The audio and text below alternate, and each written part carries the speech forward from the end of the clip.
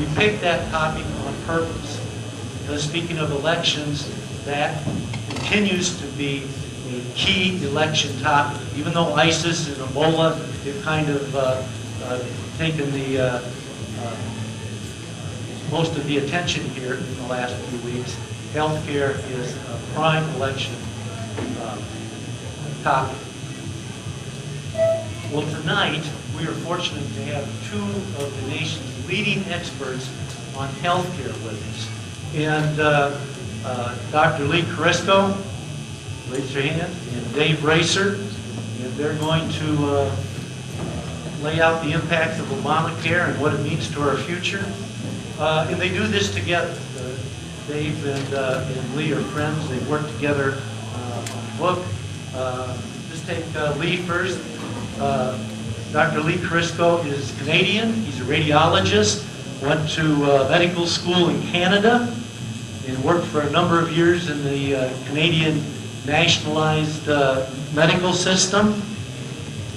And in 2001, I think, uh, Lee, you uh, came to the United States because he wanted to practice medicine in a free market. And then uh, you started to see uh, signs that the U.S. was uh, was headed towards a uh, socialized uh, socialized medicine. And Lee uh, wrote a book called Health Reform: End of End of the American Revolution. And he puts a question mark at the end, so I'm going to add a couple of words. Health reform. Is this the end of the American Revolution? Posing the question with that. So he's going to have great insights here. One of the few people that's practiced in both the socialized uh, medical field and in a free uh, free market. Uh, Dave Racer uh, is uh, uh, an outstanding speaker. He is a prolific author. Just on the subject of healthcare alone, Dave has written or and or edited nine books on U.S. health. He's one of the few Americans really understands the impacts of Obamacare and its attack on the U.S. Constitution. And so, Dave, we're going to get started now. We are ready. Sorry, uh, caught me. I, I was just getting ready to uh, put my presentation together for you. I wanted to make sure I understood the new Affordable Care Act, and, and I was kind of caught in this one section here. I wondered maybe you could help me understand it. It's under um, a section called Increased FMAP for Medical Assistance for Newly Eligible Mandatory Individuals, and I'm down in subparagraph two, um, 2A called Newly Eligible. Uh, maybe you could help me understand this.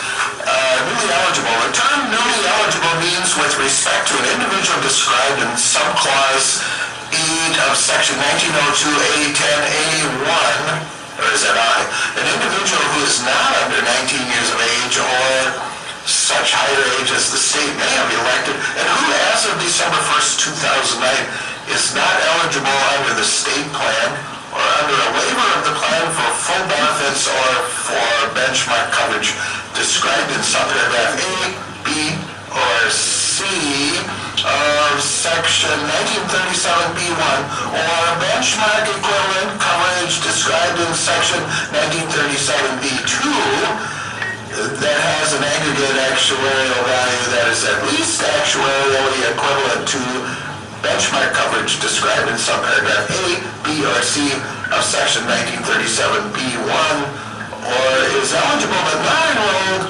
or is on a waiting list for such benefits or coverage through a waiver under the plan that has a capped or limited enrollment that is full. Does that make sense? I'll tell you what's scary, that's only two paragraphs out of that whole bill. And you can imagine how dense the rest of it is. You imagine how dense the people are who put it together. Wow. So that is uh, Obamacare uh, reduced to nonsense, which it is when you try to read it and understand it and apply it. We're going to try to talk about uh, a lot of issues here tonight. Uh, it's, it's actually impossible to talk about the healthcare system in an hour. Uh, I used to do three-hour talks. And my wife said, you've always got to do three-hour talks. And she listened to them over and over and over. And she said, you still didn't get it all covered. Well, we're still going to just condense it tonight. I'm going to actually spend a little bit of time with you on MNsure and what's really going on uh, up there. Uh, I was reminded that I'm in the territory of uh, Tina Liebling. And, um, and I couldn't find the clip. Actually, I found the clip, but I don't have it to show to you. My favorite clip of the debate during uh, MNsure uh, when they were debating House uh, Bill 5. And she said, you know, when I go into a grocery store, I have to shop for soup, and I walk in and there's 30 different brands, and I get so confused. Sometimes I walk out because there's too many choices. And I thought, and you're representing people in the legislature. Uh, but there is a, uh, an indication of someone who doesn't understand that we, the people, have the ability to make decisions, rational decisions. There's a couple of things, this is kind of hard to see. I didn't know it was going to be a smaller screen.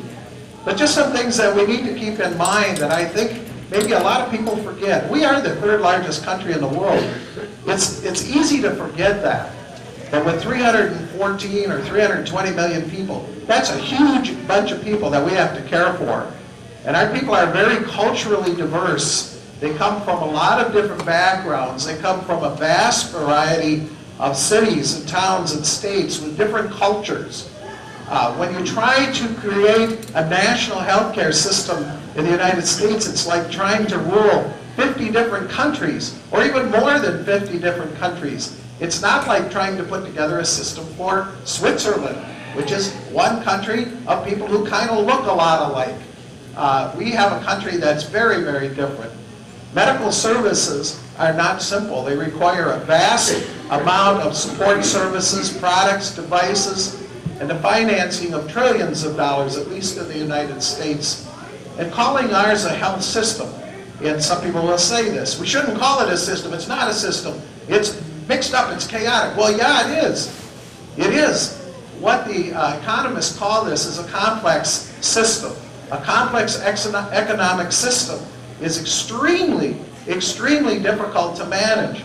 If you look at all these little blocks flying around here, and you think of that one up there as your internist, your primary care doctor, uh, who is now retired, I don't know what you're doing for a doctor now, but uh, there you have that. And here's the radiologist over here, and he kind of sort of touched, well, he's out here on his own. They're kind of out there, aren't they, radiologists? And, and down here, you've got a guy who takes a piece of diamond out of a mine in South Africa that becomes part of a drill bit. And these, and over here you have the companies that pay for healthcare. They all touch this system a little bit. It's extremely com complex. Well, along comes the Affordable Care Act and some brainiacs in Washington, D.C., who say if we could only organize this system, then it would be more efficient and it would meet people's needs.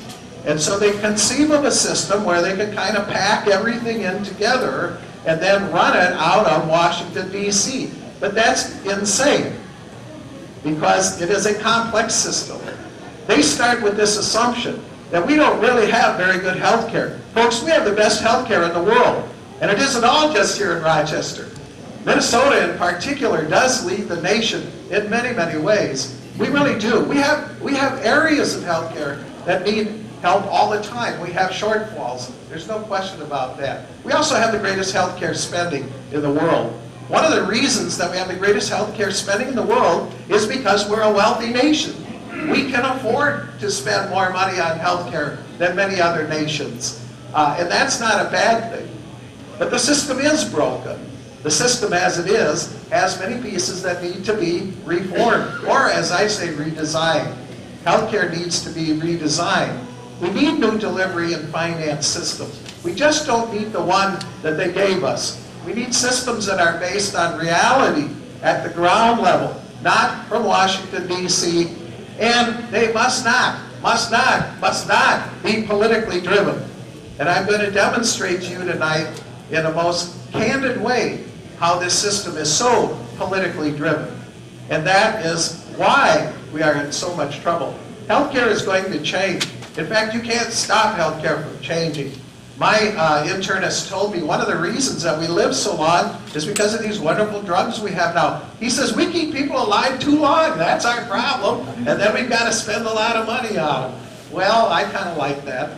Uh, but you know that uh, I wrote a book, I've got the book over there, the biography of the father of the artificial heart.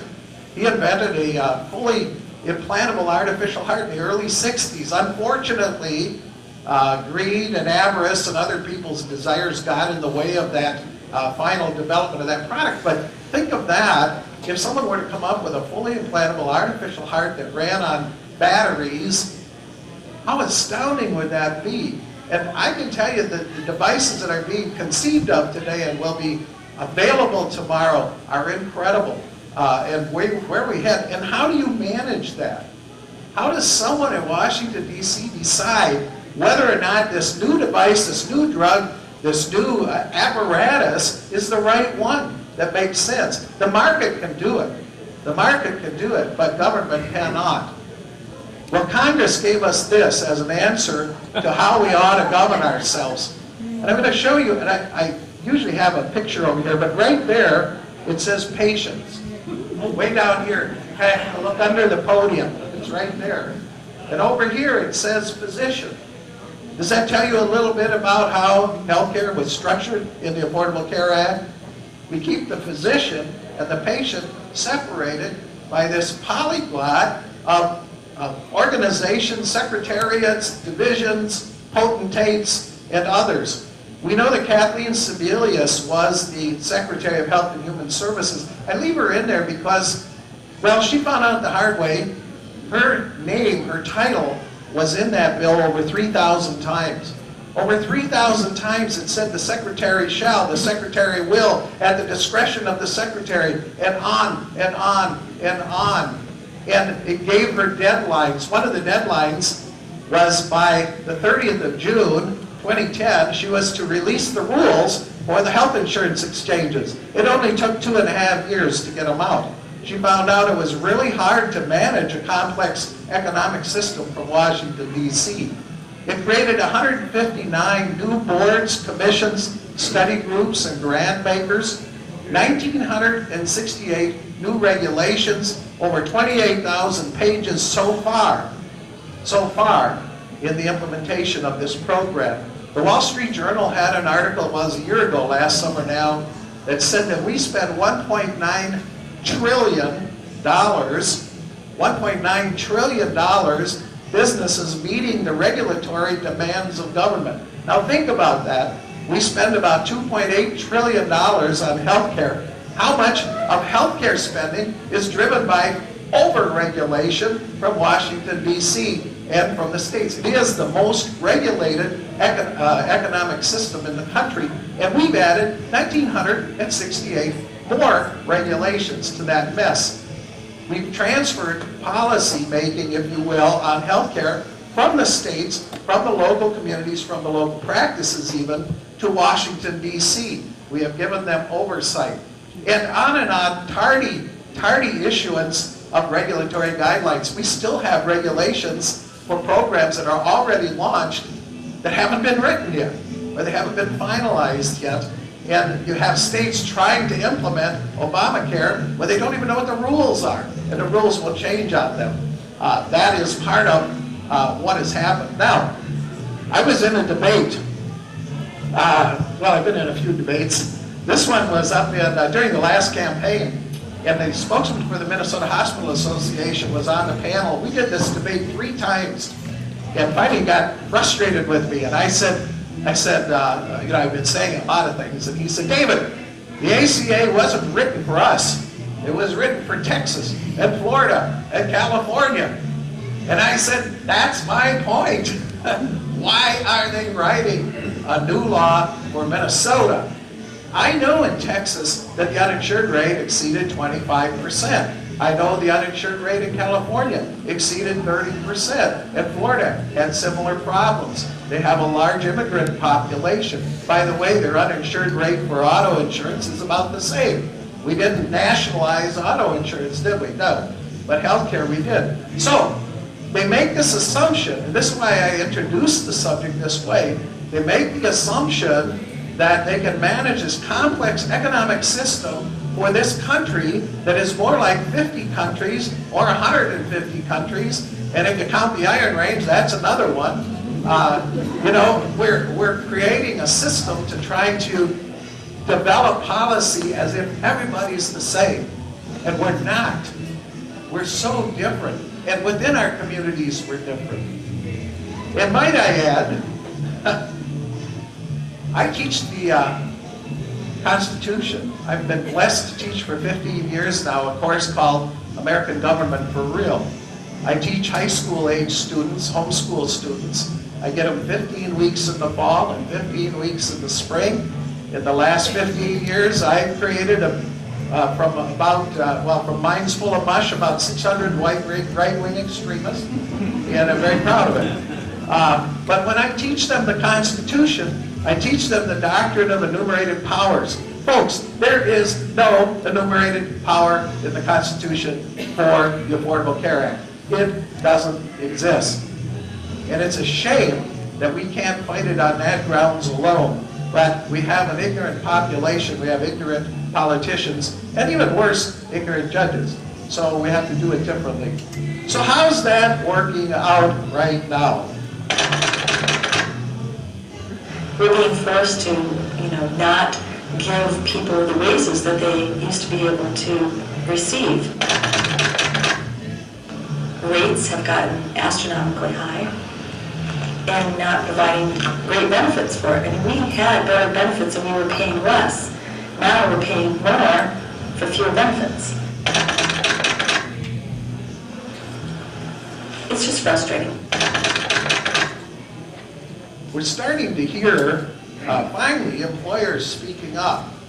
This uh, past week, we had a press conference in St. Paul about the premium increases, not this year, but I'm going to talk about those, but last year, when all small groups in Minnesota experienced premium increases in double digits, some as high as 50 and 60 percent. And they're looking at this fall, and this is another paper I wrote, uh, 40 to 50 to 60 to 70 percent. In one case from, yes, southeastern Minnesota, 135 percent rate increase. I am not kidding you. What happens when an employer is faced with a 135 percent rate increase? He can't pay it. And he has to blow up his employer group, or he has to force his employees to pay you know, a lot more out of their own pocket for their insurance, or he has to cut back the quality of the health plan.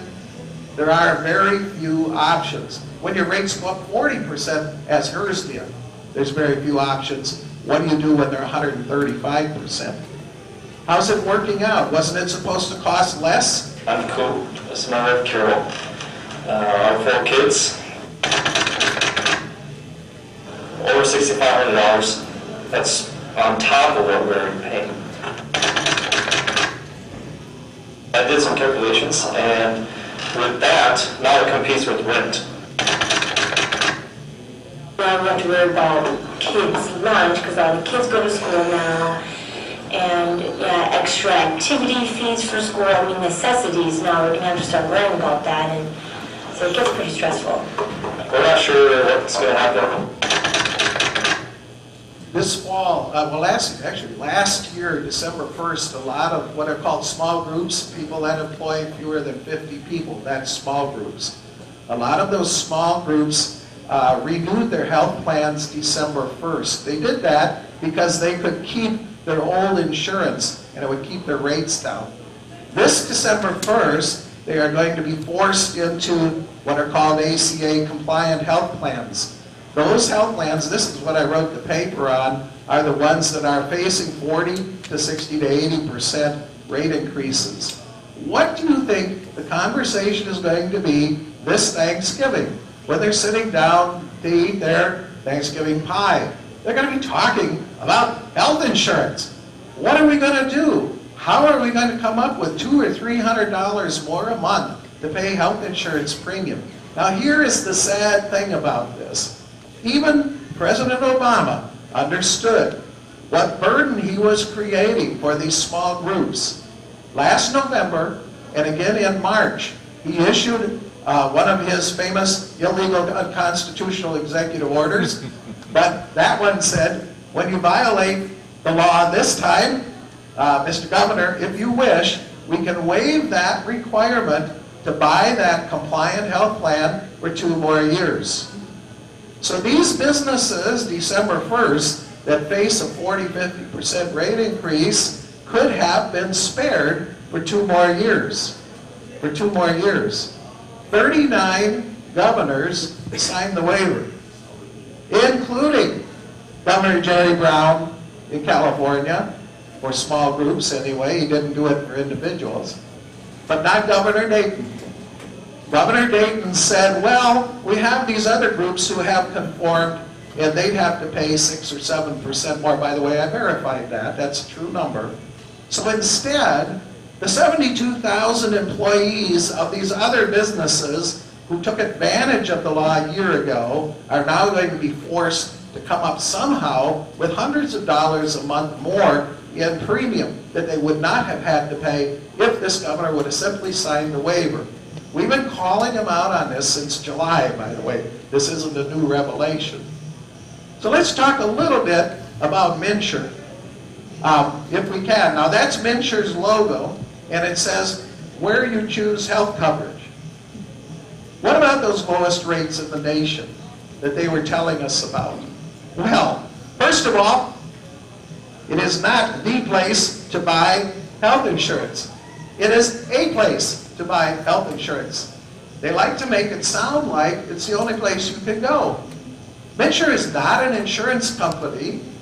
MNsure is not an insurance plan. MNsure is an insurance distribution system. There are lots of other insurance distribution systems, but it is the only place you could go to get, I was going to say on the government dole, but I didn't want to be cynical. It is the only place you can go to get a government health plan or receive tax credits. So if you want to have the government help you pay for your premiums or get on a government health plan, you got to go there. You can't go into the private marketplace. Prior to MNsure, we already had more than 50,000 insurance agents acting as, if you will, insurance exchanges. Because that's what insurance agents do. They show a number of different products from a number of different countries, countries, yeah, companies, not countries. Well, maybe they do. Maybe there are. No, there isn't. I'm sorry. That was a misspoke. Okay. And, and they do essentially what exchanges do, I mean, they do it the old-fashioned way with books and things. And so now there's been a lot of uh, online websites created that are private exchanges. So what MNsure is, is a website where people can consider signing up for health insurance or health coverage. And there are scores of these in the private marketplace that all compete with the government exchange. So, what is an exchange? It is a place where you can go and buy health insurance. They tend to be online now because everything's online. And you can go and pick out a health plan from the company called InsureEasy.net. First of all, the website actually works. And secondly, you can pick every single health plan that's offered at MNsure, plus more, because it's a private exchange. The only thing is, you can't get enrolled in a government health plan, and you can't get a tax subsidy if you go through a private marketplace. So what does Venture do? It enrolls people in health plans. To date, it has enrolled 350,000 people, roughly, into health plans. They're very, very proud of that number. Of those, 86% are on Medicaid or Minnesota Care. Did you hear what I said? 86% are on Medicaid or Minnesota Care. We are the only state in the nation that has what is called a basic health plan. That's Minnesota Care. No other state has this. So up to 200% of the federal poverty guideline income, you either get free health care on Medicaid or you get reduced premium health care on Minnesota Care. And you get to try to find a doctor who will actually take you because 55% of doctors no longer take Medicaid or blue Medicaid patients except when they have a heart and they have to help them because they have a need. But it's not, you know, having coverage doesn't mean you have access to doctors. You got to understand that. 86% of the 54,000 who are in commercial health plans through MNsure, about half of them are subsidized. So you can kind of do the numbers, 93 or 94% of the people who are enrolled in a health plan through MNsure are getting taxpayer bailout or taxpayer help to pay their premiums. I'm a little cynical about it, I can, you can tell. Just talking about MNsure, uh, about uh, Medicaid and Minnesota Care, we have added to the state budget, Mr. Legislator, about one and a half billion dollars in additional expense. A lot of that is paid by the federal government for the next couple years. Where do they get the money? I mean, that's free money, right? That doesn't cost anybody anything. And everybody knows the federal government has unending money, so, and they promised us they're gonna pay ninety percent of that in the future. Uh, so, um, we're talking about a huge increase in state spending, even now and going forward. Minnesota Care, they had to appropriate $406 million additional for the next biennium to meet its enrollment. This is the Commissioner of Commerce in Minnesota, Michael Rothman. Um, he and I are not close friends. Um, last week at a press conference, uh, he announced the premium increases in Minnesota. You may have seen the news. I was at the press conference. Uh, President Obama, last, early last year, realized this was a political landmine. Because open enrollment is supposed to start October 1st. It's already supposed to be going. But if you open enrollment on October 1st, then everybody in the country is going to know about the new premiums, and they're going to be really angry. And if they're really angry, they're not going to vote for Democrats, they're going to vote for Republicans. So Mr. Obama said open enrollment will start uh, November 15. Oh, like that's right after the election, isn't it? But governors had the ability to release those rates early, and thank goodness the governor did this in Minnesota. He got so much heat that he finally said, we're going to release the rates on October 1st. So at the press conference on October 1st, Mr. Rothman made this announcement that once again, we had the lowest rates in the nation. Last year, we had the lowest rates in the nation. That was a company called Preferred One. I'm going to talk to you about that in a minute. Hold on to your seats. You are not going to believe what you hear. So once again, we have the lowest rates in the nation. What does that mean? That means our rates are, are higher than they should be, but they're not as high as they are in South Dakota, North Dakota, Iowa, Wisconsin, and everywhere else. It could be worse. We should be thankful for that. He said there was an average 4.5% rate increase. He was very, very proud of that. Now, it's very important that we unpack what that means. There are five health plans that are going to sell in the Twin Cities. The 4.5%, first of all, only re related to the Twin Cities. It did not relate to rates anywhere else in the state, okay? That's the first thing you have to know. UCare went down 9%. That's why the average got skewed down. Guess what? Last year, UCare was 25 to 30% higher than everybody else. So they went down 9%, which means this year they're not going to be higher than everybody else. They're just going to be as high as everybody else. Uh, average them with the other plans came up with this 4.5%. UCare had 600 enrollees in MNsure last year. Preferred One had over 30,000. And uh, Blue Cross, I've seen different numbers. I saw 13,000, I saw somewhere near 10,000. I don't know what the number is. Uh, Medica had people, uh, health partners did in the individual market. So Preferred One is the big one here now. This is what happened. We got their rates this week, folks, and I kid you not. Their rates have gone up 40 to 60 percent or more. Some of you may have preferred one health plans right now, and you're nervous. This is an example. It's over on the table over there. It shows four bronze plans, Preferred One, Blue Cross, Health Partners, and Medica in 2014 and 2015. On those four bronze plans, pretty much identical plans, Preferred One, uh, Preferred One went up 66%. They are not selling in MNsure this year. Uh, last year, they were the lowest rates in the nation. This year, they're charging what they probably should have charged last year. Um, and so That four and a half percent really doesn't mean much when you realize that the, the company that enrolled more people in MNsure than anybody else had this huge rate increase. Uh, Blue Cross went up seventeen percent. In this uh, particular example, it's fifteen point three three. I'm not pointing fingers at anybody. They're trying to recap, recapture their costs. So, well, in the real world, we have this going on. My name is Heather. My um, insurance premium will be increasing by approximately $120 a month. I live paycheck to paycheck. I am a single mom. I help my daughter who's in college. I don't know what I'm going to do. I'm going to have to stop helping her financially so that I can keep my health insurance. See, the thing is, this affects real people in real ways. Uh, this isn't theoretical. It's really what happens to people every day in their lifetime. Heather is a, um, you know, quality long-term employee of a, a health insurance agency, actually. But she gets hit just like everybody else. What is she going to do? How is she going to put her daughter through uh, school?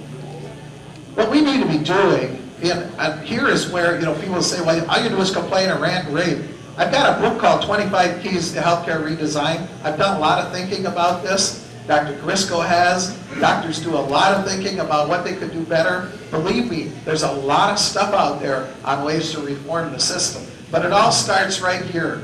To do all we can to make the patient-physician relationship first, foremost, and final.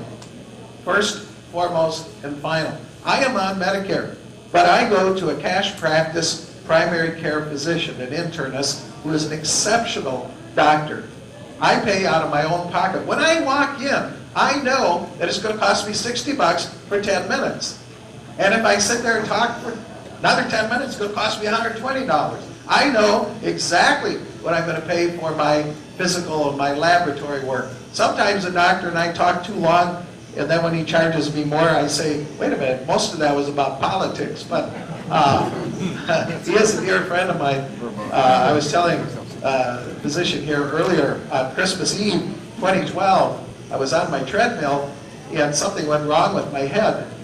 And uh, I pulled up my treadmill, had the worst headache I had ever had in my life. I don't get headaches.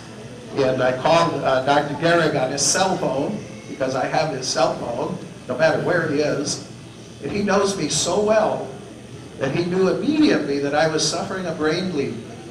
And he said, is your wife there? And I said, yes. He said, you tell her to take you to the nearest emergency room right now. Don't wait. So having that kind of relationship with my doctor, very important. When he came to see me in the hospital, I said, you saved my life. God bless you. What an incredible thing. That's the way we're supposed to do medicine. When he sits across the desk from me, he's not typing on a computer. He's not keeping electronic medical records. He's not distracted by paperwork. I tell him he's in my space. He's staring at me. He's listening to me. He's analyzing what I'm saying. He's looking carefully at my color and everything else to help me become a healthy patient. There's scores of ideas of how to do this. The question is, should Congress repeal the Affordable Care Act? What do you think?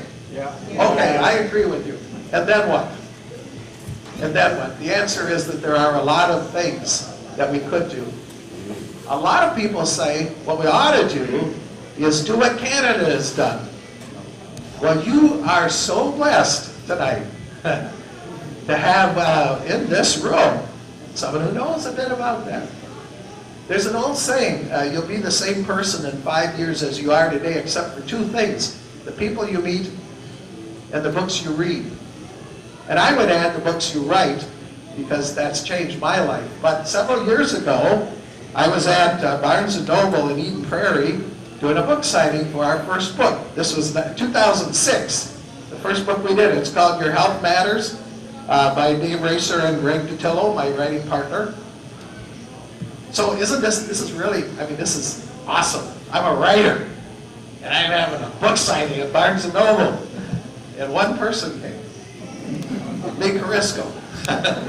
And he'd already bought the book and read it, so I didn't even make any money that night, except we sat and talked for an hour and became close friends. And it was sometime later when he told me about his book, and I was able to help him put that book together and publish that book, uh, Health Reform, The End of the American Revolution.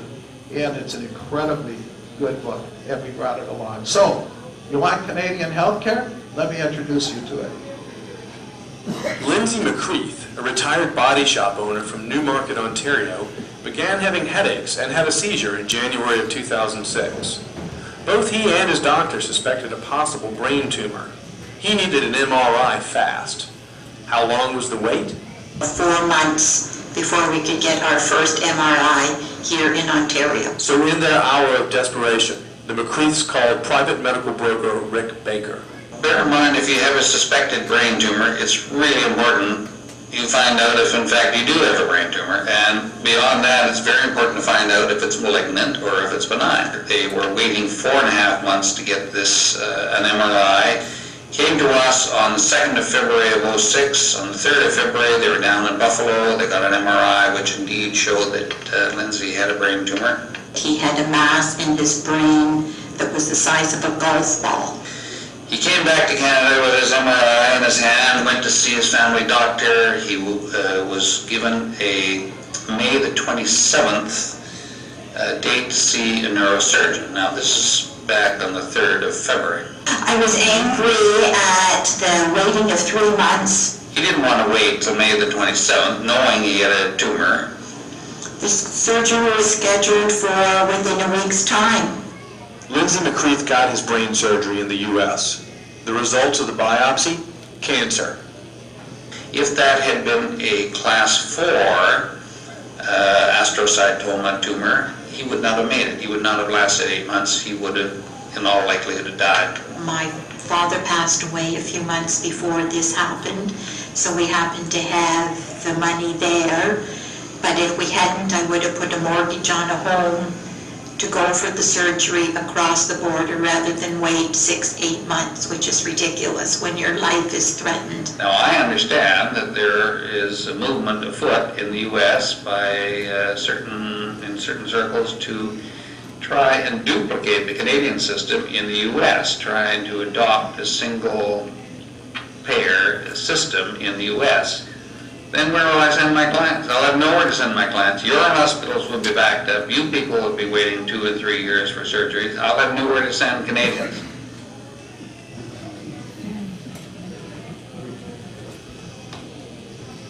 Hello, thank you for having me tonight.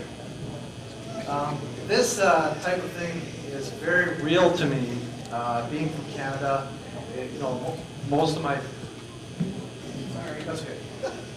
Uh, You know, virtually all of our family lives up in Canada, and we hear stories like this all the time. My mother-in-law is having a health issue, can't get the care that she needs, and I do what I can to try to facilitate things, um, but usually feeling rather powerless. So it, it's not just an abstraction to me, it's a, it's a day-to-day real thing. Um, I used to be a true believer in Canadian healthcare, um, actually for most of my life, until about the age of 41. Um, I really believed that it was the government's job to make sure that people had access to healthcare. When I was a kid, I was brought to the government uh, clinic, and there was no direct exchange of dollars between us and the doctor, and the healthcare just magically appeared. But then, um, and, and in fact, actually, I remember um, uh, prior in medical school having a conversation with an American urologist, and uh, he was saying that, you know, in Canada we do things all wrong. It's absolutely crazy that, you know, you need to have a free market in healthcare. Being from Canada, indoctrinated in that line of thinking, I thought the guy was crazy. And, you know, I tried to argue, you know, why I thought government healthcare was the right way to go, but it, um, it was just something that I had sort of absorbed through my course, but hadn't thought out rationally. Well, fast forwarding many years, um, uh, about the age of 38, long after finishing all my medical training and having worked as a family doctor for a while and being trained as a radiologist, I found myself in the circumstance where I was the medical director of diagnostic imaging for Thunder Bay Regional Hospital in Thunder Bay, Canada. It was a large, pretty large hospital, about 300 beds, and we had a catchment area of about 250,000 people. And I was suddenly confronted with the reality of actually delivering healthcare in a system like that. And I saw the reality of trying to do things efficiently and give uh, tests, get tests done in a timely manner and so on. And um, it was right about that time I read a book called Atlas Shrugged by Ayn Rand. Uh, maybe some of you have heard of it, maybe you've read it. But it was almost uh, kind of an almost a divine intervention that I happened to read that book at that time in my life. I had been thinking about reading it for a few years and never got around it. And finally said, well, you know, maybe I should start reading this book. And um, uh, if you're not familiar with the basic storyline is, you know, what would happen in the United States with the institution of socialism.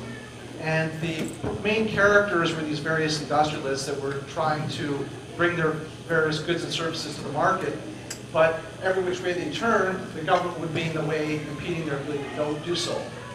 Meanwhile, uh, I ended up as Director of Diagnostic Imaging in Fenimore, Canada, and I was trying to deliver timely care and uh, had a number of ideas on how to do so uh, and improve service, and every which way I turned, the government was in the way, impeding my ability to do what I wanted to do and what really needed to be done. And uh, finally, I put the connection together between what was happening in my real life and what was happening in this story, and I realized that uh, socialism not only does not work, it's actually immoral because it's predicated upon a loss of individual freedom. So, you know, I came to the conclusion that I had to move to the United States where it was a relatively freer market and I could practice higher quality medicine. Um, the cover of my book, hopefully the symbolism is obvious with the mighty American eagle with a stethoscope around its neck and yet chained down to the American Capitol. And health reform, the end of the American Revolution, you know, America was founded on the idea of individual freedom and liberty. And when we get to the point where the American people are comfortable with the idea of having the government tell them what type, quality, and amount of health care they're allowed to have, the basic essence of the American Revolution will have lost. But I did pose it as a question because we really don't know how it's ultimately going to end up. Um, this is a quote from one of my favorite authors.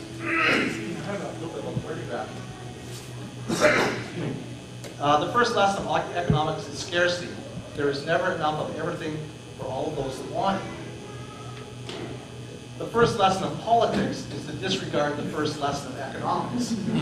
and nothing could be more true in the setting of healthcare. It seems Mark Twain actually knew about uh, Obamacare uh, back in his day with, um, it might be called the Patient Protection and Affordable Care Act. People are losing their insurance. Uh, costs are going up. Uh, there's a website that costs $2 billion that doesn't actually work. Um, and then we had to pass the bill to find out what was actually what was in the bill.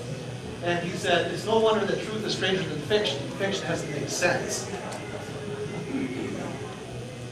Another nice theme in my talk in, in my book is that man is not free unless government is limited. By one of my favorite presidents, Ronald Reagan. There's a lot of myths about government health care. Uh, I'll dispense with this first one very quickly. Healthcare is not a right. The politicians won't tell you that. Even Mitt Romney will, will tell you that it is a right. It's not a right.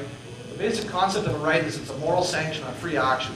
You have a right to do whatever you like so long as you don't harm anybody in the process or imposing obligations on them. If you're going to say healthcare is a right, you're, you're implicitly saying somebody must uh, dispense with their labor and money to serve you. And so it basically negates the whole concept of rights its original form. Um, health, government healthcare does not work. We're going to talk about that more. We talk about how outcomes can be misleading in the argument for a government healthcare system versus free market. And how would a free society deal with poor people without the huge apparatus of government? If by any chance you happen to believe that the Canadian healthcare system is a functional system, I'm hoping to disabuse you of that right now. The Fraser Institute, uh, based in British Columbia, Canada, does a yearly survey figuring out how long people are waiting.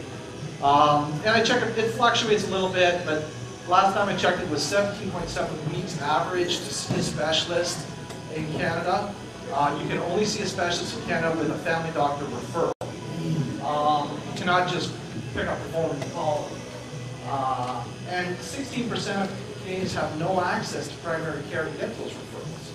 And so what that means is a huge portion of the Canadian population has chronic medical problems, high blood pressure, you know, chronic lung disease, heart disease, or whatever, the problems are simply not addressed until they're at a crisis stage and basically, uh, you know, go to the emergency department, deal with it in a crisis mode. Um, it varies from region to region, despite being a so-called egalitarian system. It varies largely from region to region as far as the access to health care. 40% uh, was their uh, figure used when I was working in Canada as far as people that did not have access to primary care. It's probably about the same now. Uh, Two-year waiting lists are not uncommon. I knew a gastroenterologist, it was two years to get to see him. I knew an upper extremity orthopedic surgeon, two years to see her. Uh, Back surgeon, back surgeon, I knew was about two years to see him. Our wait time when I was working up in Thunder Bay for an MRI scan was 13 months. And imagine the gray hair that I got trying to triage these, figuring out who needed to be seen more quickly. And oftentimes, this history would be just one line long, back pain, okay, back pain's a common problem, usually doesn't have a serious origin. And I would put them in a line, read their scan several months later, and realize that they had a tumor there, or an infection, a rampant infection that should have been dealt with months earlier. Our wait time for CT scan was seven months. In the province of Newfoundland, the waiting time for an MRI has been as high as 2.5 years. And where I grew up in in Sault Ste. Marie, and we still own property, uh, if you're new to the community, it's generally about five years to get into family doctor. Unless you happen to have connections in the medical system where you can get in sooner.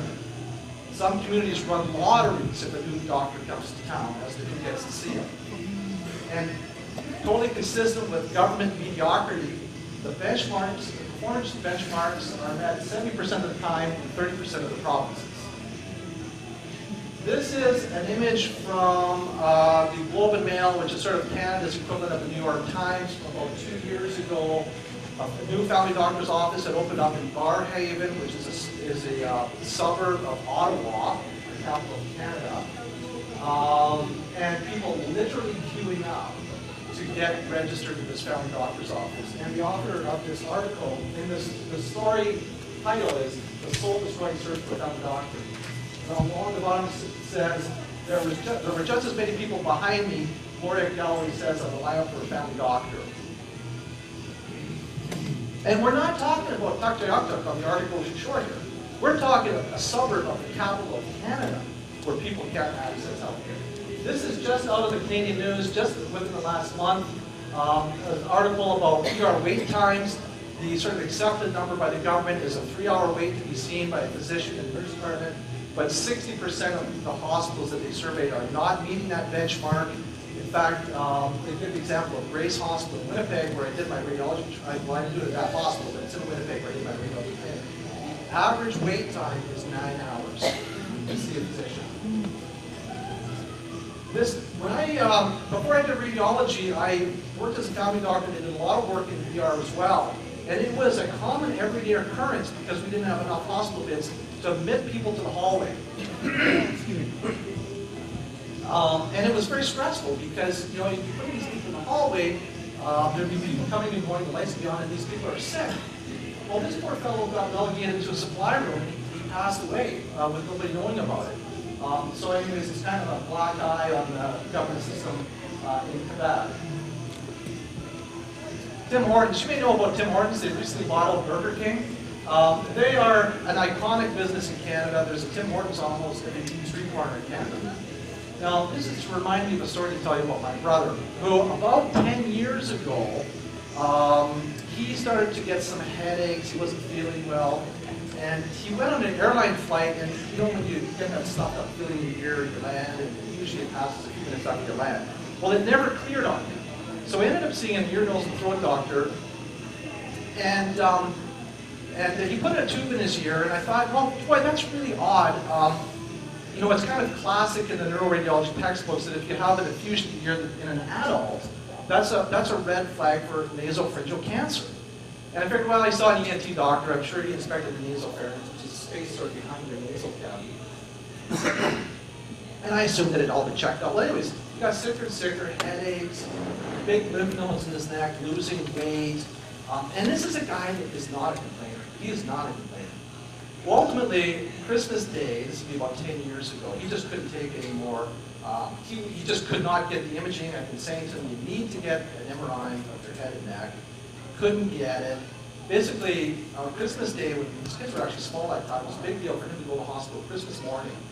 And he went to the hospital, and um, they, uh, they wouldn't, it was Christmas Day, they wouldn't do an MRI, they wouldn't do any diagnostic testing. And so anyways, it happened to be that my parents were visiting, my dad's a retired judge, he was a very certain person, he just basically raised the roof and said, you will do imaging on this, I don't care that, the, you know, that the uh, apartment is closed. So they made a concession, they, scanned him on Boxing Day, which is still a hospital, it was just the day after Christmas in Canada, it's still a holiday. They made a concession, they scanned him, and then the scan was read, and they said um, that this is sinusitis, and I got the word back. I had a suspicion, suspicion all along that my brother actually had nasopharyngeal cancer. And uh, one of my family members contacted me, and said, oh yeah, he's got sinusitis. Well, it didn't make sense. So I got on the plane, I made, got special concession for work to get on the plane. I went and got on the plane, flew to Toronto. Uh, my sister got a copy of the MRI scan. I held it up to the light on the desk, and I said, my brother Blake has nasopharyngeal cancer. And it's very, very advanced. Um, I can tell the doctor caring from, my brother has nasopharyngeal cancer. I tell my brother he has nasopharyngeal cancer. And so the internist caring from tried to arrange for emergency uh, you know, treatment, which he didn't get for six weeks. Now, fortunately, my brother survived it. It's, it can be, even when advanced, it can be quite treatable. And, you know, he's got a lot of morbidities, but he survived it. But he probably wouldn't have had those morbidities if he had the diagnosis a year previously. Now, what does Tim Hortons have to do with that? My brother's in a Canadian hospital attempting to get health care. He couldn't get the health care that he needed while he was in a Canadian hospital. But Tim Hortons had a kiosk down in the lobby. And when I was visiting him, I could get a sandwich, nice sandwich and a coffee and a donut or whatever, any time of the night or day, 24-7 in hospital. So it doesn't make, it's lost upon the Canadian people that you can get a coffee and a donut and a sandwich in a Canadian hospital 24-7 at a reasonable price, but you can't get the health care you need in a Canadian hospital. Why? Because of the contrast between healthcare being delivered under a socialist government model versus the free market. And it's just a concept. Healthcare is not different. You know, economics applies to everything. Uh, whether you want to insist that healthcare is different, it's not. Um, the outcome thing is a false argument. Michael Moore likes to say, well, Canadians live two years longer than Americans. You know, well, it's true, but, but there's more to longevity than just um, the healthcare system. I mean, it has a lot to do with your racial makeup, your personal habits, and so on and so forth. And traditionally, the Canadian population is a more homogeneous uh, racial mix. Typically more, you know, Caucasian, um, with fewer minority groups, although that's changing.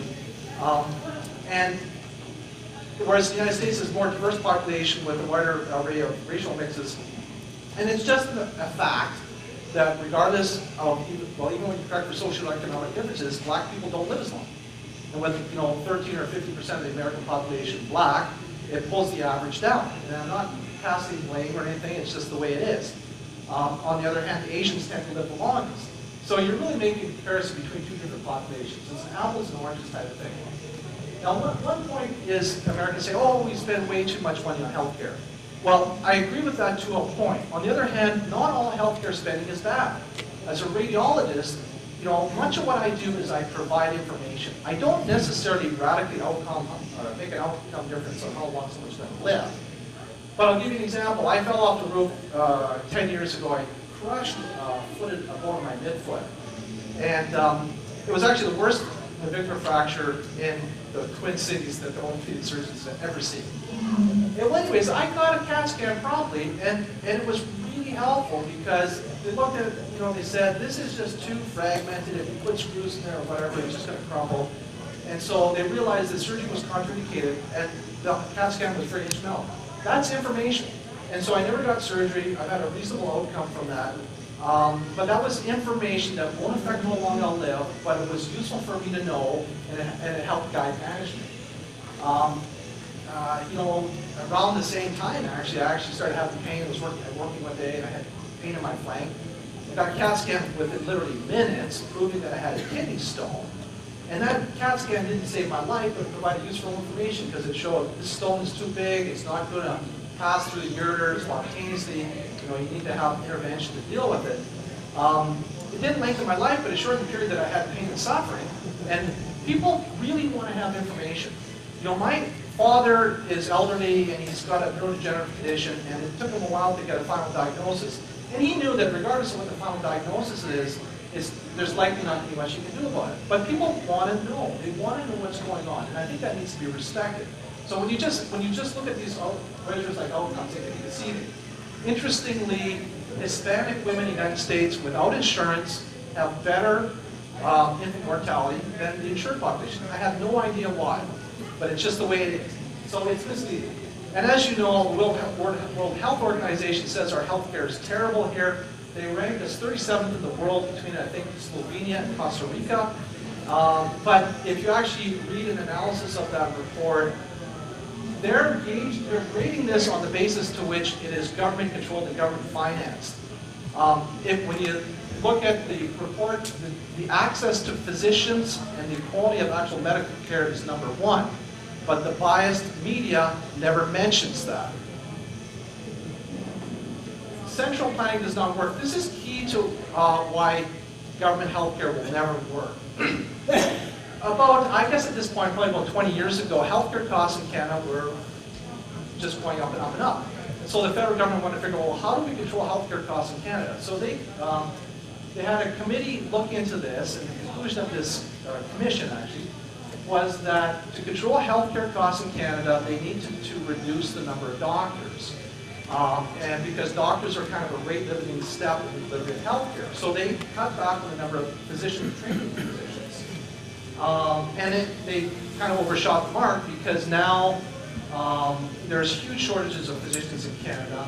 Uh, there just aren't enough to go around to service everybody. Now that really hit home for me. First of all, there was so few people getting med school. I thought it was blessings that I got in. But anyways, um, uh, when I was working up in Canada, we worked in an area that the Ministry of Health said needed 13 people to not be underserviced. When I joined the group, there was eight of us. Long story, there was personnel meltdown, people couldn't get along um, because of a forced amalgamation of two groups imposed by the government, which goes against the whole concept of freedom of association, but nonetheless, there was a personnel meltdown, we ended up with three people delivering service to 250,000 uh, people. And the American College of Radiology says there should be about one radiologist for every 13,000 people. So do the math, I mean, we were being crushed with work.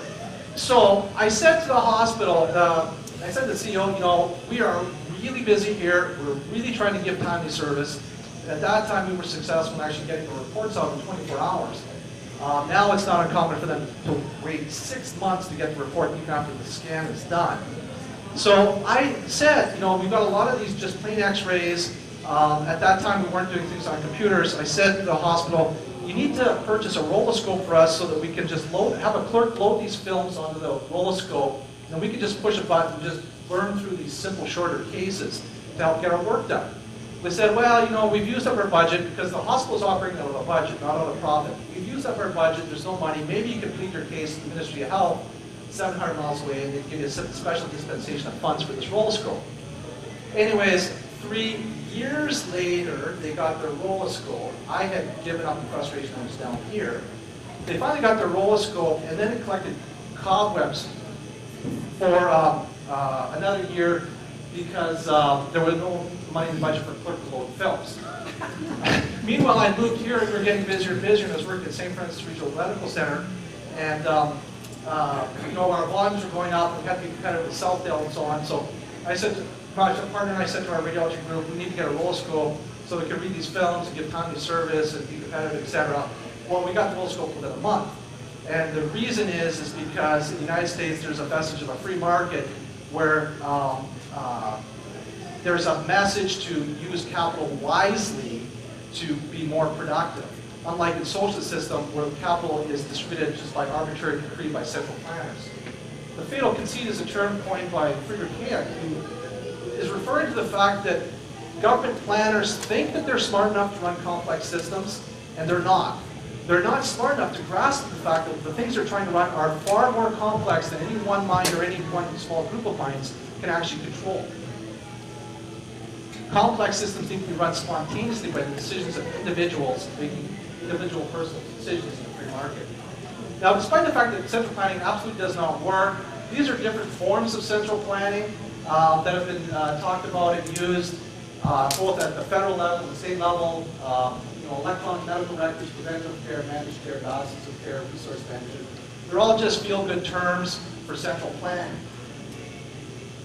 And the mother of all central planning is the accountable care organizations.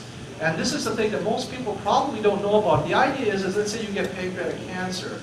So you end up at the Mayo Clinic, a parcel of money goes with you for you to be treated for your pancreatic cancer. Everybody involved at the Mayo Clinic has to fight it out for their piece of the pie. So it becomes very divisive within the medical community. Um, Meanwhile, the, the government allows them to have some of their financial remuneration from the savings that they, in other words, there's a conflict of interest to spend less money, less money on the patient rather than serve the patient's interest. And, you know, the problem there is they want physicians and hospitals to hold the underwriting risk that should be held by the insurance company. Um, So if centralized control doesn't work, what would work? Well, decentralized control would work. I mean, that's what gave me my iPhone. That's what, you know, that's what gives us PowerPoint. It's, it's decisions of people working together cooperatively, exchanging cash, and uh, using the cash as information about resources allocation. And so that they can be allocated rationally and spontaneously, as opposed to just a bureaucrat making an arbitrary decision about whether or not you get a roll scroll. But keep it in mind, these bureaucrats are not just making decisions about my silly little example of a roller scope, they're making a myriad decisions and hoping that every little decision they make is going to mesh together and, and work to produce abundance in healthcare. So where should the control be? The control should be in the hands of the 318 million Americans, the 850,000 doctors, the 2.5 million nurses, and the nearly 6,000 hospitals. Price control controls don't work. When I was up in Canada, you used to do a procedure called an angioplasty where I would puncture the artery in the person's groin, and feed a catheter up in your arteries, and then inflate a balloon to stretch out the narrow. And it could be remarkably helpful for people, and you know, people would present with issues with pain when they walked, uh, insufficient circulation, you know, they maybe have unclean ulcers in their feet. And um, uh, but the problem was, you know, it typically take about an hour to do the angioplasty, but the reimbursement was so low, it was only about ninety dollars. And I was the only one stupid enough to do it. The problem with the ninety dollar reimbursement is how that money goes to the government. For forty-five dollars, you're, you're working around like a plumber inside somebody's blood vessels, and yet you're assuming millions of dollars of potential liability risk. So it didn't make economic sense to actually do this procedure, and no one else was willing to do it. And then when I was going to leave, the surgeons had a fit, well, who were going to refer to for angioplasties? Well, the true cost could potentially go up with these types of price controls, because then they have to travel to Winnipeg or have an open operation with a longer recovery time, a long hospitalization, so true costs can actually go up with price controls. For example, my, just to put in perspective, I had this issue with my snowblower a couple years ago. Just for them to physically look at my snowblower was ninety-nine dollars. So I'm not, I'm not crying poverty, I was paid well overall, but there's just a little bit of inequity there, and the primary point is price controls don't work. There's a procedure I did called facet injections, where you inject the small joints of a person's back using x-ray guidance. The pay was fourteen dollars, and you have, your facets on both sides of your back. Um, you can only pay for one side. And so, so basically, you're doing a facet injection for seven dollars, half that money is going to tax, for three and a half dollars, they want me to put a needle strategically into your spine.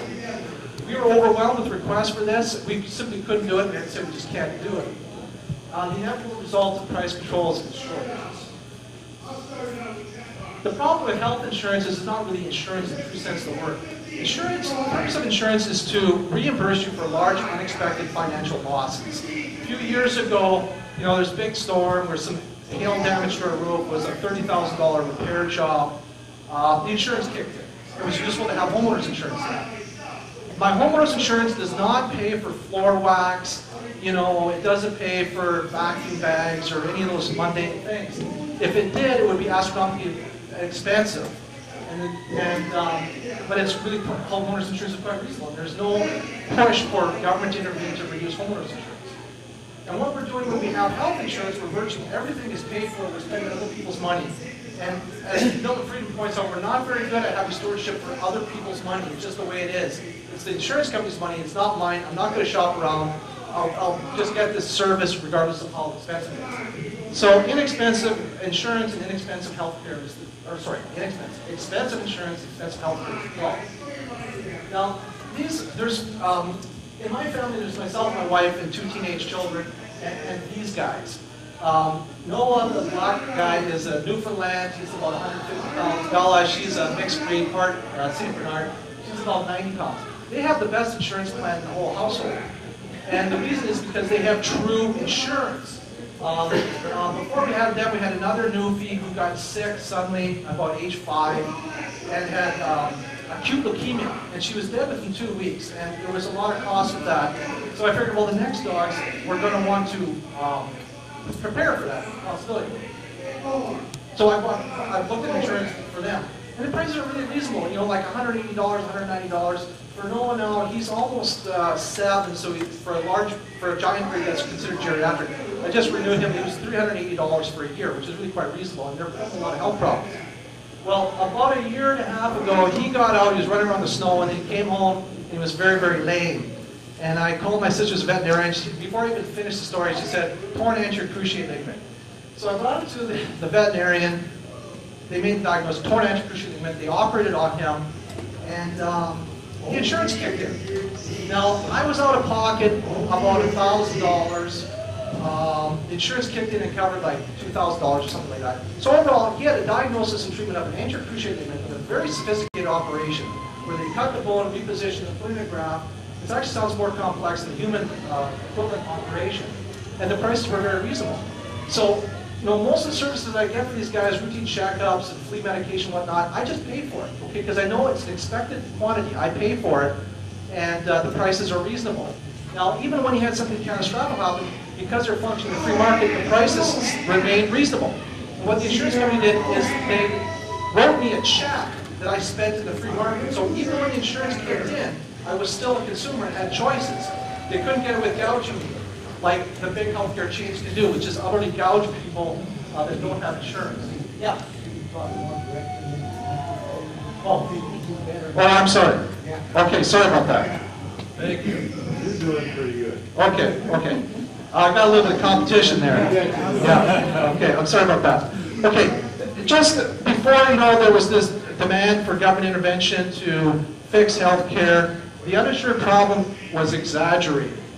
At any given moment, there have been about 48 million people uninsured prior to Obamacare. 12 million of these people are in the country illegally, um, and they're counted as the uninsured. Now, I don't think that's reasonable. Even in Canada, if you're in the country illegally, and they don't have an illegal problem like they do here, uh, you don't qualify for government programs. Why? Because you're in the country illegally. but, uh, uh, and they will just send you a bill for any services rendered. You won't be turned down for service if you show up at the hospital, but you will be sent the bill. 14 million people qualify for government programs, but don't, but haven't filled out the paperwork.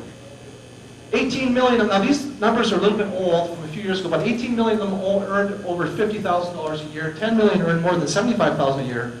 And Dave Racer calculated that the true hardcore uninsured is about 8 million people. So why are we writing this monstrous legislation to deal with the real problem, which is the hardcore 8 million, hardcore uninsured of about 8 million people, usually the working poor? It's a, um, Obamacare is based on everything that has been proven to not work. Price controls on health uh, services and health insurance, central planning, third-party payment, um, pitting doctors to hospitals against each other. And in Massachusetts, where they have mandatory insurance under Obamacare, the uh, waiting lists are skyrocketing and the costs are the highest in the country for health care. So we know Obamacare is not going to work. Obamacare does not break free from the status quo, it actually reinforces it. Simple reforms would work. Very simple reforms work. We're never going to produce a utopian world where everything is absolutely perfect, but this would improve things a lot. Health savings accounts, those should be made more, more robust where people start to transact with clinics and hospitals and purchase current uh, care as consumers, shop around. High deductible insurance is a good idea where it's functioning more as true insurance. Uh, we should look at the issue of purchasing insurance across state lines. The issue, Mr. Racer knows a lot about this, all the mandates, you know, uh, getting away of purchasing health insurance across state lines. That needs to be looked at. The tax code needs to be looked at. It doesn't make sense that the employer gets the deduction for health insurance, but if you buy it as an individual, you don't. And the consequence of that is you lose your job, you lose your insurance. We need to look at deregulation. Just Medicare regulations alone, there's over 100,000 pages of Medicare regulations. And tort reform. I mean, that's one thing Canada's actually done right, is that you can only um, sue for $250,000 of uh, pain and suffering damages. You can sue for unlimited damages, like for example, if the hospital removes the wrong leg or something, you can't work again. I mean, that makes sense and you can compensate it for economic losses, but there's a a cap on pain and suffering. And they don't have the out-of-control losses that you hear. So my point is, rather than blowing the whole system up with a tank, just tweak the system a little bit with a screwdriver and we could get things working a lot better. I'm sure you've heard of healthcare.gov, the frustrations people had, $2 billion spent on this website that doesn't work. Again, frustration. Now this is MediBid. MediBid uh, is uh, an organization, it's a company that I've been involved with for about four years now. And the concept is, it's an online interactive portal for buying and selling medical goods and services. Um, uh, both myself and my friend Ralph Weber, who started this, also Canadian living in the United States, realize that the fundamental problem is we don't have a true free market in healthcare. And uh, MediBid is the marketplace for medicine. So say you need a knee replacement, you don't have insurance, you go on there, it's, you basically say, I need a knee replacement. Anybody that, any physician that does that can submit a bid. You see all the bids. You look at the doctor's credentials, the, you, know, you read about what special, how they do it, etc. And you make it, so it's not like a true auction. You get to pick what you want. And the interesting thing you find is that people don't necessarily pick the cheapest um, uh, bid. They, they pick, um, they often make choices based on something else that they like about the physician. And so it's not necessarily the cheapest, but overall the prices that we get are, are really low. You know, a hip replacement typically may be, you know, if you went to Mayo, they're going to quote prices like $60,000. We get things like that for like $14,000. Now, interestingly, um, we had a lot of press about MediBid, like with Good Morning America and Today Show and Reuters, the American Press. We had this flurry of uh, you know, uh, publicity. Well, this was right around the time of the big healthcare.gov debacle, and our website hits went from about 150 to about 10, 15,000 a day, and our website worked. And it didn't cost $2 billion. This is my friend Dr. Alieta Eck. She lives in New Jersey. She's running for the 12th district for the U.S. Uh, uh, uh, House of Representatives. And she, she's a physician. She and her husband were um, uh, struggling. They had a clinic and they were seeing Medicaid patients. And you know, they were going broke seeing these Medicaid patients because it wouldn't cover the costs. So they said, well, we're not going to see Medicaid patients, but we're going to open up a clinic in the church basement. And they did so, and the church, you know, let them do so. They opened up a, a free clinic in the church basement no government money whatsoever. They got volunteers to man the front desk, volunteer nurses, volunteer doctors, they get free drug, drug samples and so on. And um, they made it work. Now, if you go in her community, if you go to the emergency department as a Medicaid patient, the average visit is something like $13,000. If you go to the federally, federally qualified health clinic, it, the cost is approximately about $650. If you go to their clinic in the church, well actually they've, they've got a new building now, but um, $13 for the average visit, all covered through private donations. The point is private charity can work if we let it work. People want to help. They have to turn people away from this clinic that want to help out at this clinic. You know, we don't need a huge apparatus of government to take care of the poor. The Canada Health Act enacted, in 1984 basically codified the government system of healthcare. Individual provinces had been experimenting it for years. Um, it was 13 pages long and destroyed healthcare in Canada. 13 pages. The Patient Protection and Affordable Care Act is about 2,500 pages long, so 2,000 times the degree of complexity. Um, just imagine what the devastation is going to be, how unworkable it's going to be. There's 159 new bureaucracies under Obamacare. When I worked in Canada, it was relatively streamlined. There was two bureaucracies, the OHIP, Ontario Health Insurance Plan, that paid me, and the Ministry of Health, which basically um, sort of managed resources and who got what money for running emergency departments, all that type of thing. That's the central planners. Two bureaucracies versus 159 new ones. Um, the CPT codes, which are used to bill, are going to go from 18,000 different codes up to 140,000 codes. And when I was in Canada, um, see, there, it's actually not truly a nationalized healthcare system because the individual provinces administer it, and many of the individual provinces break themselves down into regions. So there's a little bit more local control. But even still, it's three years to get a roloscope, and you know, so um, uh, and they're trying to manage all the nuances of running the super complex system. The United States has 10 times the population of Canada. It's 10 times the population, And they're going to try to even more centrally control it all through Washington DC, as opposed to the more decentralized uh, version in Canada. It's not going to work. This is uh, Obamacare legislation. And it's anticipated 100,000 pages of regulations from Obamacare. Now, about a year or so ago, the first 13,000 pages of regulations were written. It was calculated that compliance would require 127 million work hours to comply. That is the equivalent of building 1,040 Mount Rushmores. The first one took 14 years. It becomes mind-boggling, and that's only the first 13,000 pages of legislation with another 87,000 expected. How is this going to make healthcare work better? How is it going to make it cheaper? Dave and I both love this slide with all the bureaucracies, the physician over here and the patient over here. And my understanding is 70% of the complexity has been eliminated from this slide. This is a slide I just got today. Um, it's actually from Physicians for a National Health Insurance Program. Oh, it can actually project properly. Uh, well, anyways, what, it, what it's showing is very much a flat line the number of physicians over the last few decades, but the number of administrators, for some reason it's not showing in the slide, is actually more like this.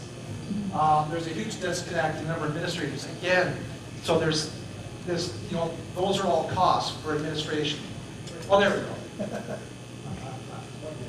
Richard Foster, who was the chief Medicare actuary uh, at the time the Medicare Obamacare was passed, anticipated that uh, Obamacare would cost $222 billion over 10 years.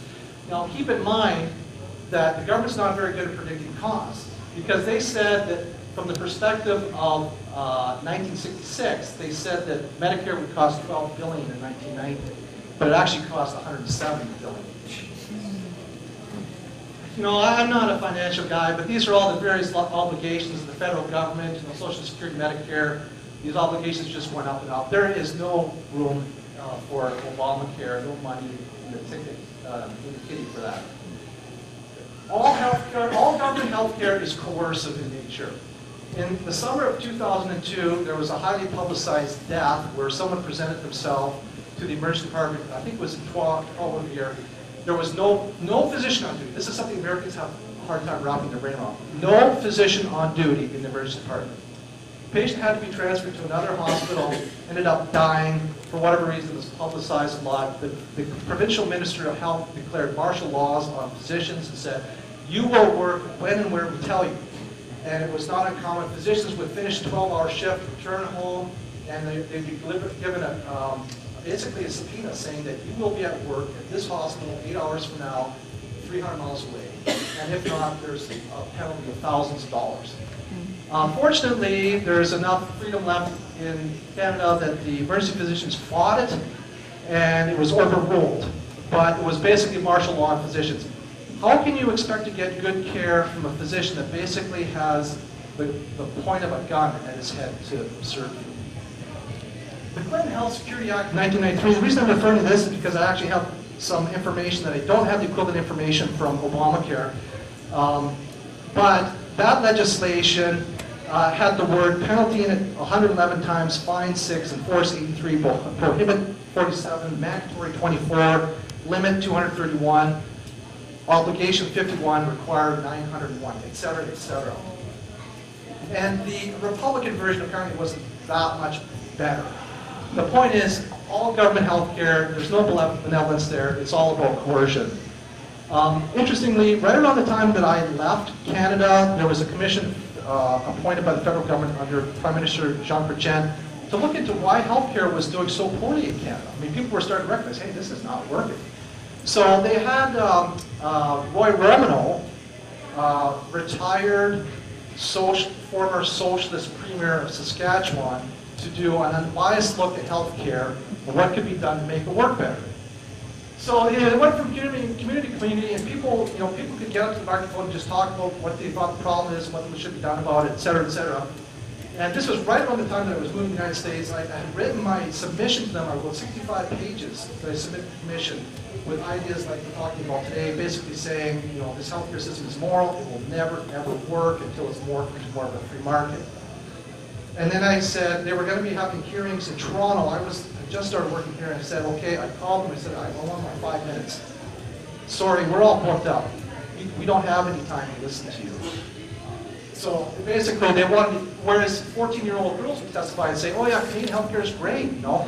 We gotta, you know, healthcare's a right, we gotta have government healthcare. Um, so, uh, in 1928, Herbert Hoover prophesied, you cannot extend the mastery of the government over the daily working life of the people without at the same time making the master of the people's souls and thoughts. Free speech does not live many hours after free industry and free commerce die. So, um, there's ramifications beyond just healthcare. You know, when people become subservient to the state.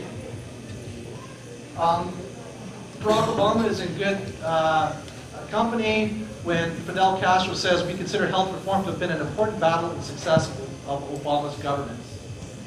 And Vladimir Lenin said socialized medicine is the keystone in the arch of the socialist state. Nikita Khrushchev said the United States will eventually fly the communist flag and the American people will hoist it themselves. Um, in all our politics, there's really only one question, and that is who decides. Is it the overarching government or is it the individual? And I suspect that most people in this room think it should be the individual whenever possible. So it's not enough that we be against Obamacare. We have to be for something, and we should be for individual freedom. And how does that manifest in healthcare? We need to be for doc- we need to be, to be for doctors that work for patients, not for insurance companies. And that means directly transacting in a free market with reasonable prices.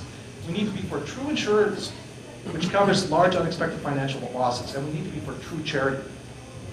Barack Obama's campaign website in his first uh, election bid, uh, he stated, on healthcare reform, the American people are too often offered two extremes. Government-run healthcare with higher taxes or letting the insurance companies operate without rules. I would propose to you that the more meaningful dichotomy is externalized control versus individual freedom. It's very tempting to be wooed by the sense of security that a move towards government healthcare gives us. But Benjamin Franklin said it best when he said, those who give up essential liberty to purchase a little temporary safety don't deserve neither liberty nor safety. Thank you.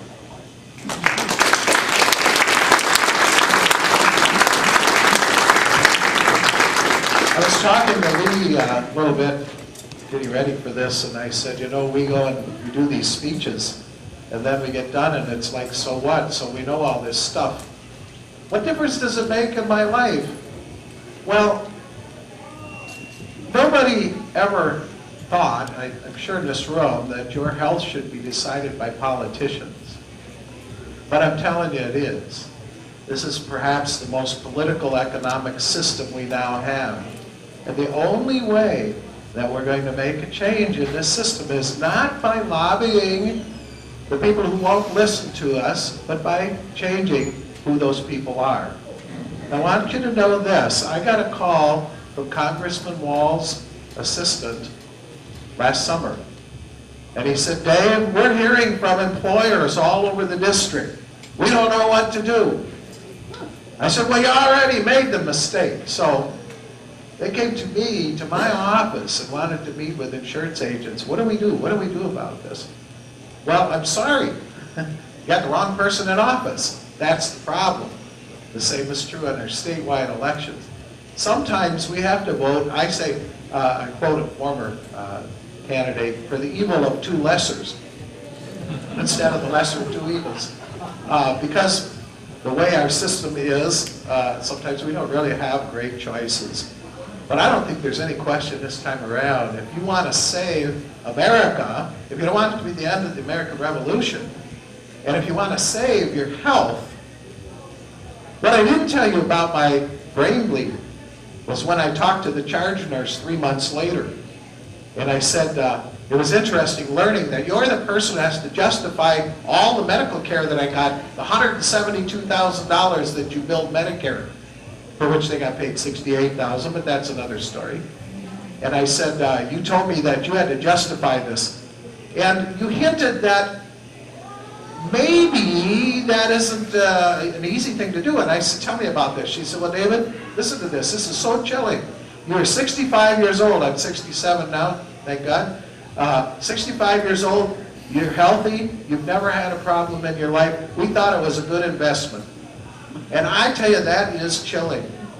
Because I thought when I went in that hospital, it had to do with doing everything they could to make my pain and suffering less and extend my life as reasonably uh, long as possible. Not the fact that I was this age or I had this history before. Uh, And I don't want to give that control to someone else. So we got to elect different people. We just have to elect different people. Some of the people we have there are pretty different already, I understand that. But uh, we got to elect different people. The other thing we need to do is get educated. Uh, He mentioned Ralph Weber. Uh, I was also privileged to introduce Ralph and, and Dr. Kurisko, and I also helped Ralph write his book. And it's over there, it's called Medicrats. Uh, I hope that you'll stop by and take a look at some of the things that we brought along tonight. We have several books that deal with healthcare. We have several books that deal with issues like the uh, Declaration of Independence. Uh, There's a wonderful treatise on uh, Roe v. Wade, if you're into that, uh, understanding common law. Uh, There's just a whole bunch of things over there, and we're going to be around and talk about that a little bit, or we'll be around for you, okay? Uh, Jim? All right, let's give Dave a That was eye-opening.